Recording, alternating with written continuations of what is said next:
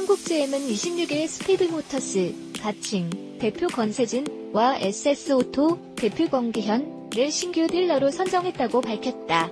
딜러 판매 시스템은 딜러가 관할 권역 내 판매망 및 고객 관리의 책임을 갖는 자동차 매수 판매 방식이다. 국내 자동차 회사 중에서는 한국GM이 2010년 1월에 처음 실시, 지난 1년 8개월간 성공적인 운영을 통해 영업력을 강화했다는 평가를 받고 있다. 한국GM은 25일 부평 본사에서 차량 판매 경험이 풍부한 SK 네트웍스 자회사인 스피드모터스, SS오토 두 개사와 신규 계약을 체결했다. 또 대한모터스, 삼화모터스, 아주모터스 등 기존 딜러들과 재계약을 진행하며 총 5개 딜러와 함께 오는 9월부터 차량 판매에 나선다.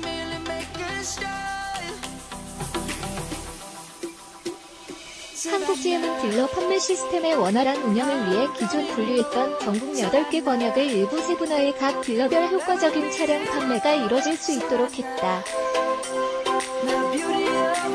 한국GM은 쉐보레 브랜드 도입 이후 영업력 강화를 위해 전략적인 판매 계획을 세워 대대적인 투자를 진행 중이다.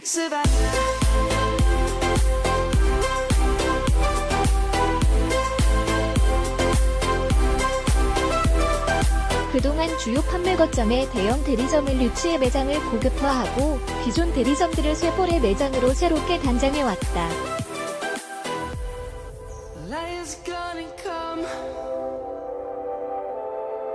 이외에도 현재 290여 개 수준의 대리점 수를 향후 328개까지 늘려 쉐보레 영업력을 대폭 강화할 예정이다.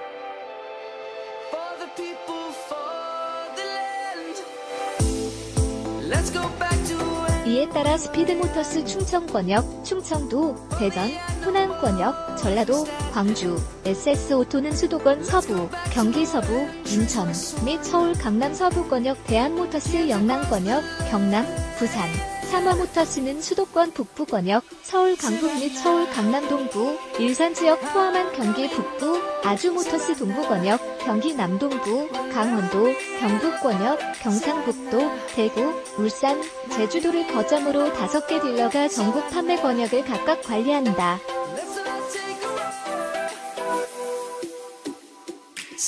안쿠시 오로라 한국제약 부사장은 신규 딜러 선정을 통한 전국적인 딜러 판매 시스템 운영은 쇠보레 브랜드를 더욱 강화하고 매수 판매 증대를 위한 전략적인 결정이라며 회사는 각 딜러와 함께 쇠보레 내장의 고급화와 대형화를 지속적으로 추진하고 다양한 신차를 제공해 제품 라인업을 크게 강화할 계획이라고 말했다. 여기에 영업 효율성을 높이기 위해 규모에 따라 허브 대리점 396제곱미터 이상, 스포크 대리점 231제곱미터 이상, 위성 대리점 165제곱미터 이상으로 구분하고 각 지역별 전략적 위치의 대리점 입지를 선정해 대리점을 확대해 나갈 계획이다.